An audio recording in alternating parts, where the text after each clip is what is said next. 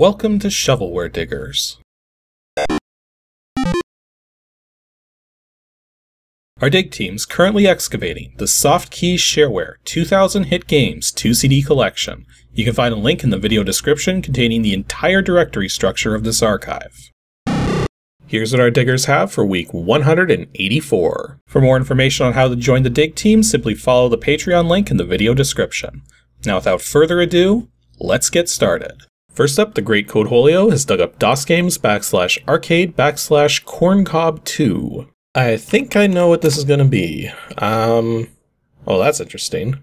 We've got a numbered executable that has all the data in it, an install executable, which is very small, and a readme. Okay. Uh, oh, I meant to do it. Edit. Edit readme. This release of Corncob 3D consists of three files, the readme, the installer, and a self-extracting compressed archive of all the files in Corncob game. Okay, so it does look like we're going to have to run the installer. Um, to install the corncob on your heart. okay, so I happen to know that corncob 3D is a sort of flight sim, but I've never actually played it before, and I, I think I remember having trouble getting this working from this CD, but maybe we'll have better luck now that I'm actually using a DOS emulator.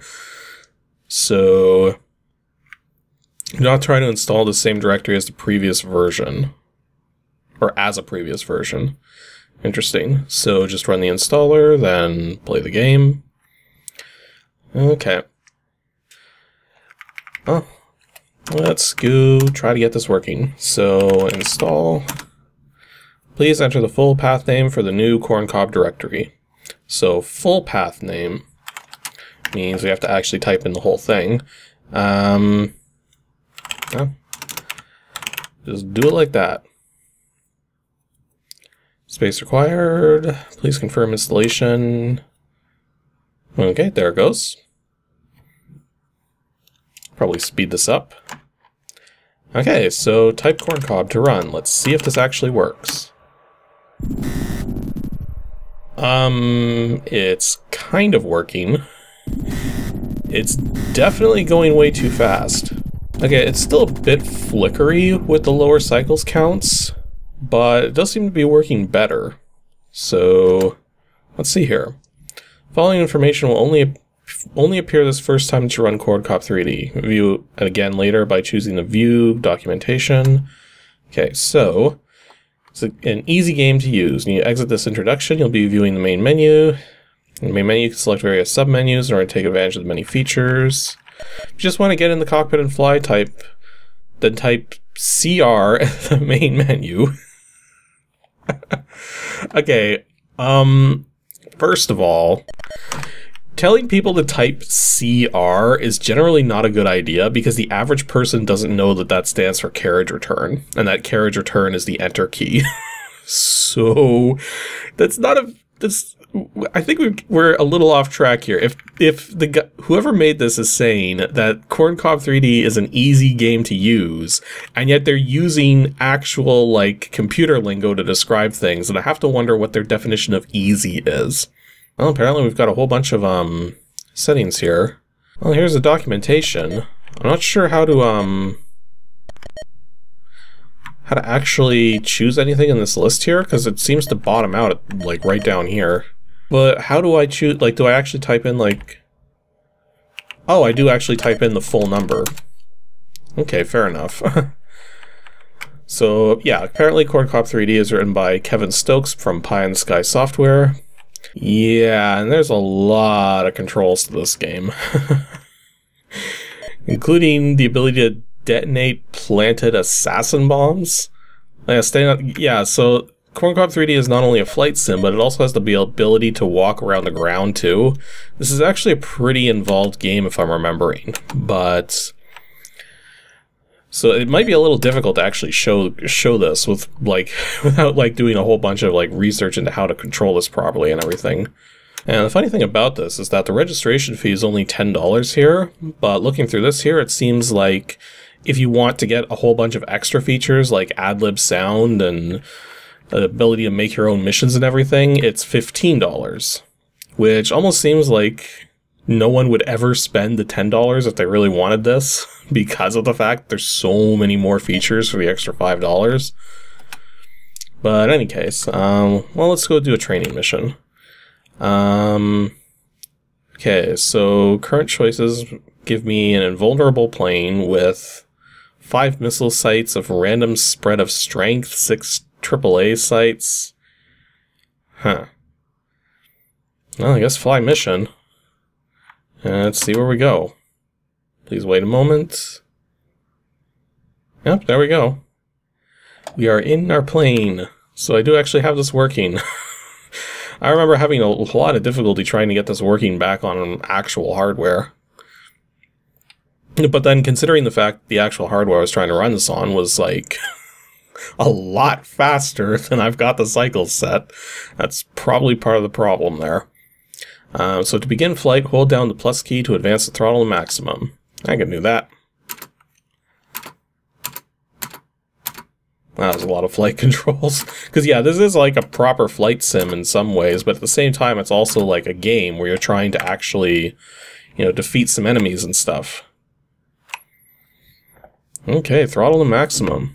Okay, so C, B is our bombs, C is our missiles, and then we also have a map we can access with the M key, which doesn't help. Oh wow, there's actually some stuff going on over there. Uh, I'm not hearing any sound effects. I guess when they say adlib sound for the full game, they mean like any sound at all. Do I have to bomb that? A lot of stuff going on right now. oh geez. I have to wonder if that's actually rendering properly. So did I drop a bomb or something? I don't know. I have no idea what I'm doing.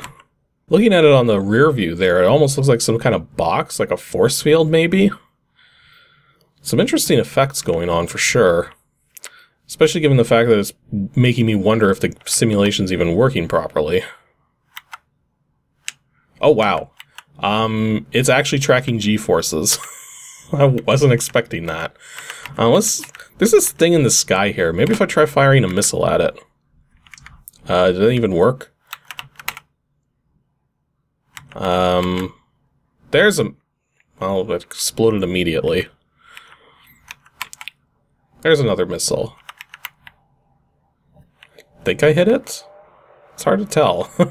Yeah, to say things are a little hectic at the moment would be an understatement. Also, I can't really tell if I'm moving, because you see those dots on the ground.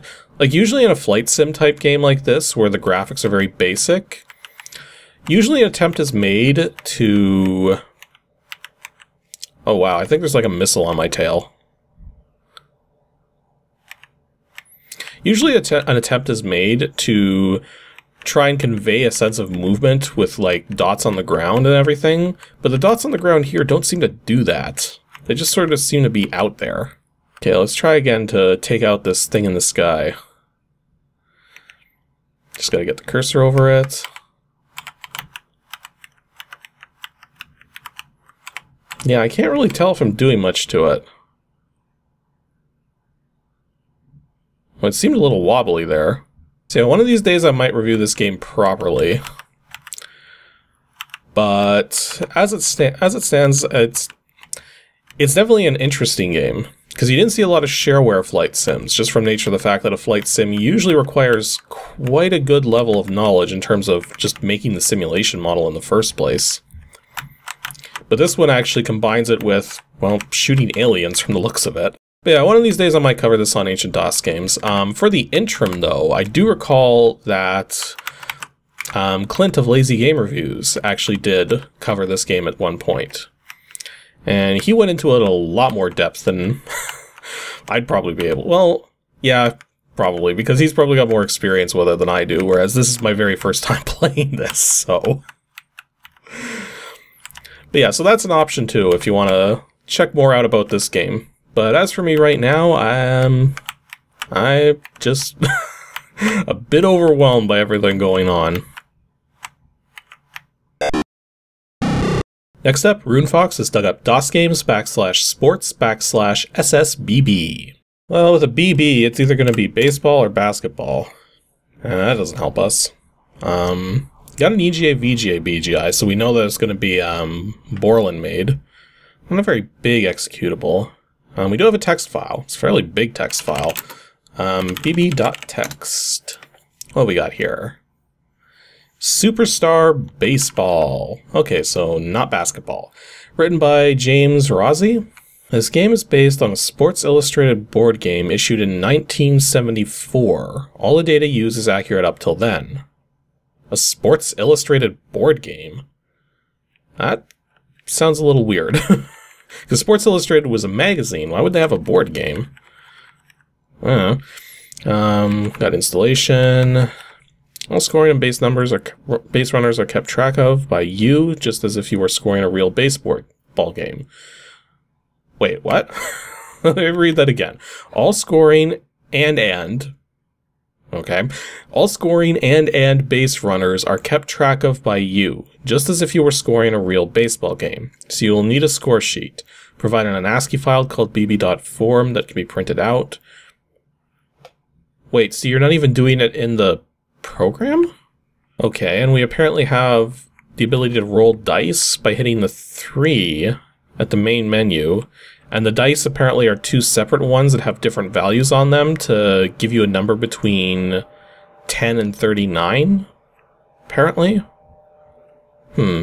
So yeah, there seems to be a lot of, um, a lot of content to this game, except it doesn't score on its own. The scoring has to be tracked by the players themselves. So it's more so just a simulation of the basic aspects of the game, without itself becoming a game. I don't know. Although apparently this guy's saying that this is his first attempt at programming, so please be lenient in your comments. Well, normally I wouldn't be, but he also says this program's free of, free of charge may be distributed freely. So because he's not charging money for this, then yeah, I won't be too stringent. Okay, so BB, Superstar Baseball. So we can choose players, batting order, start game. Um, would you like to use the DH, designated hitter? Uh, no. So we can like choose pitchers. And we got a whole bunch of pitchers we can choose from. I'm going to guess they probably have a whole bunch of stats internally, but... Um, so we're choosing pitchers for different teams. Well, you apparently choose catchers and first baseman and everything as well. Does it? Will it automatically have stuff randomly set up, or do I have to actually? Um, oh, geez. okay.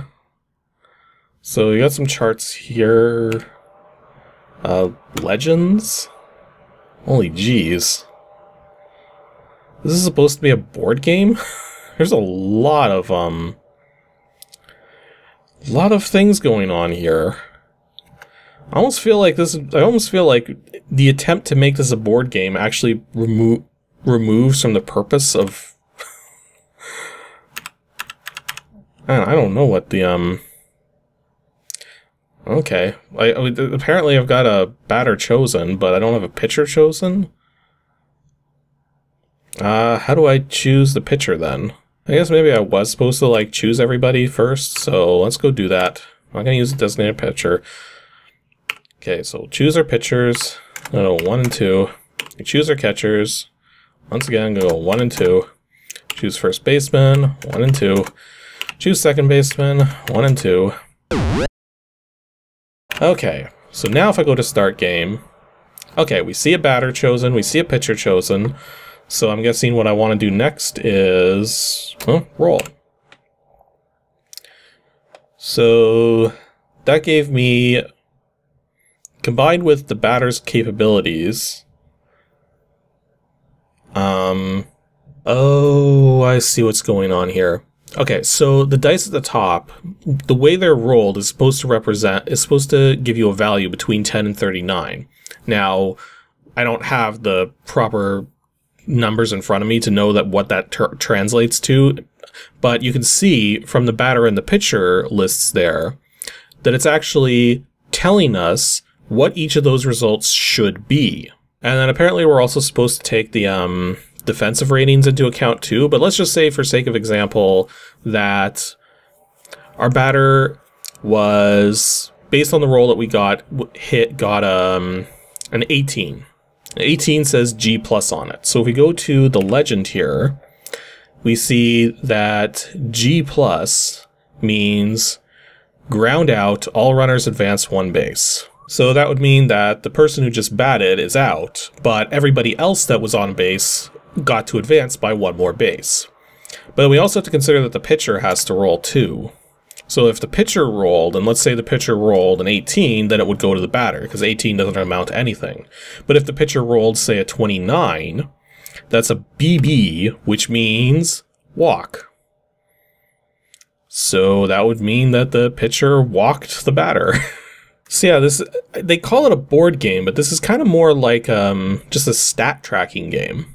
So you got rolls based on the pitcher and the batter that are up, that are up, which gives you your defensive ratings, determines what different values that you roll mean, and then based on that, you determine you have the pitcher roll, the pitcher makes their roll, and if there's anything special about the pitch, then you just then you do the special thing. Uh, you do the batter, and if there's anything special about the batter's pitch or the batter's batting, and then you do that stuff, and then you just progress from there. So yeah, it's kind of a, kind of an interesting way of doing it. The only thing is, is that this game is only simulating that calculation aspect. So you still have to know the rules to the actual board game, and you still have to know how to play that game. But this gets rid of all the tedious work of figuring out what equates to what, so that all you have to do do is hit your roll key to roll your dice, and then pick your appropriate values from there. Although I think it would be nice if the program did go one step further and actually highlighted what the appropriate values were. But then I guess we're getting then I guess that's kind of um pulling the point away pulling the point away from where the programmer was trying to go with this and just making it sort of an assisting program as opposed to trying to do all the work for the players. So it's only doing the tedious stuff. So I guess to that end, if this particular Sports Illustrated game that came out way back in the 70s is something that people were still playing by this point or wanted to play, then you have got a program here that simplifies the whole aspect of doing that so that it's easier to play it. So I guess to that end, there's nothing really wrong with it, especially given the fact that this was freeware. And our last take for today comes from Troy Bowman. Wingames backslash arcade backslash SPTVL1. I don't have a clue. I really don't have a clue on this one. Uh, Spit VL1? Like some kind of Spitfire game? Spitfire being a kind of plane? Got file ID.DIZ. Space Traveler, I was no close to that. Fairly simple game to play. You're a traveler traveling through the galaxy at high speeds. Your ship is designed to collect stars for its fuel, because that makes sense. The object of this game is to collect all the stars before enter either crashing into one or into another ship, or running out of fuel, or running on the sentence. Um, what's the readme say? Uh, apparently, this you're only supposed to play it for two weeks. Um, what's the help file say? Uh, we got licensing and registration. So apparently, the game cost seven dollars. So that's actually that's actually pretty reasonable for a Windows 3.1 game. It apparently was made by uh, Jeffrey Markin. On the how to play screen here, this actually looks kind of familiar, so I think I might have actually played this before. But anyways, Space Traveler is a fairly simple game to play, traveling. Uh, okay, we already read that. Um, you start playing by selecting New Game from the New Game menu. Before starting, you may wish to select the number of stars in the starting level. Options are located in the Skill menu. Default settings for Beginner, which is 30 stars in the first starting level. So controlling your ship. Use the arrow keys to control the ship. Right and left arrow keys move the ship right and left. Ship moves as long as you hold down the down key. Okay. The up and down arrow keys can vary your speed slightly. Use the down arrow key to get a boost in speed, and use the up arrow key to slow down. Okay, and apparently it's only a temporary speed change as well.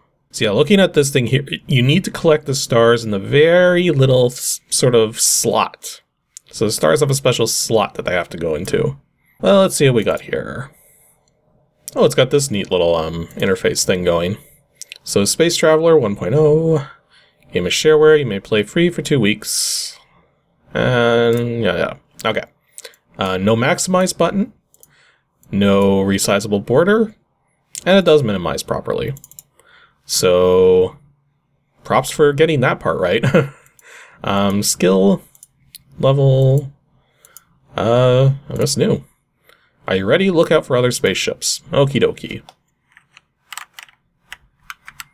So we need to collect the stars for fuel.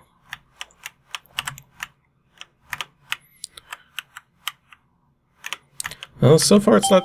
Whoops. Really? One-hit deaths? Uh... Okay. So you hit get hit once and you die. Can't say I'm a fan of that logic for a game where you're literally collecting pixels and you have to be pixel accurate. I don't think that's gonna fly very well. Not to mention, you don't have pixel accuracy over your own movement. So that kind of makes it a little difficult to line up with some of these stars. Although we seem to be doing okay so far.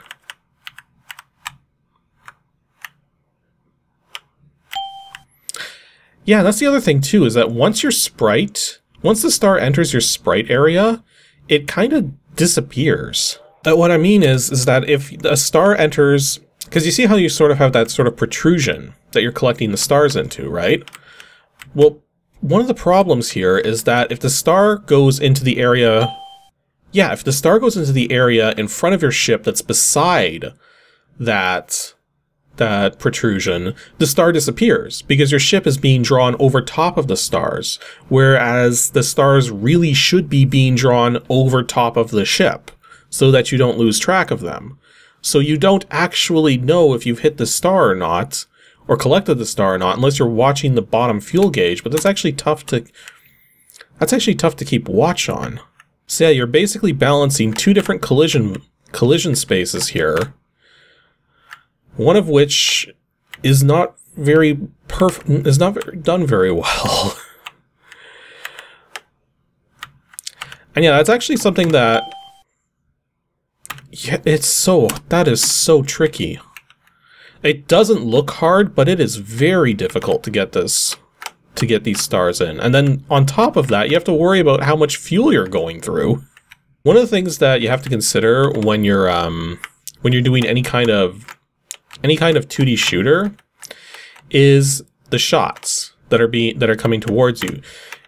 It does nobody any favors if the shots are hitting sprite limits and as a result you're not seeing all of the shots or in another case if the shots are going behind things that they shouldn't be going behind because it makes it impossible to dodge them properly. Also here's another potential problem is the fact that we're burning through a lot of fuel, and yet we have to collect every star. Yeah, that's actually very difficult, because if I'm not hitting the stars, then I'm actually going to... What the heck? Uh, game? Okay, that was weird. I was pretty sure that I hit hit the to start again, but yeah, for some reason it's not starting the game starting the game immediately anymore. Okay, can I beat level one? Or actually, it says I'm on level two. What? Shouldn't I be on level one? Oh no, wait, now I'm suddenly up to level three? I don't get it. Like, is the level increasing as I collect stars? Okay, there's only one star left, and I've got a good amount of fuel. Let's see what happens if we can get catch this. I hit it. Oh, that's what's happening. The, um, the arrow keys that I'm holding to do the movement is also affecting what option I'm selecting here. So yeah, that was Space Traveler. Um, this is an unnecessarily difficult game. The fuel goes down way too fast. It's very difficult to dodge things properly, especially given the fact that you're basically dodging pixels. Like, I don't even know how well it's going to show up on the video stream here. But yeah, it's it's interesting and it's it's well done for what it is. but it's it needs some better design behind it to really get it to some point where it's actually going to be any fun. Because for me, I'm already don't want to play any more of it.